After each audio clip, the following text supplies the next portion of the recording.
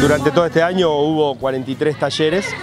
eh, en los cuales han pasado alrededor de 5.300 personas en, los, distintos, los distintos talleres, tanto, tanto los de cultura como los de deporte, como los de talleres en oficio. Realmente para nosotros es una, satisfacción porque, porque vemos que, la gente se entusiasma, que la gente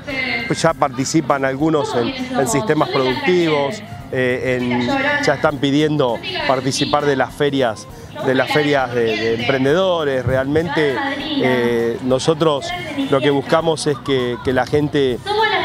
vaya teniendo un espacio, vaya teniendo un lugar, creo que lo estamos logrando porque año a año esto va creciendo mucho. Nosotros eh, tenemos ya para, para el 2020 proyectado continuar con todo esto y recuperar los espacios públicos y darle participación al pueblo villagalvense.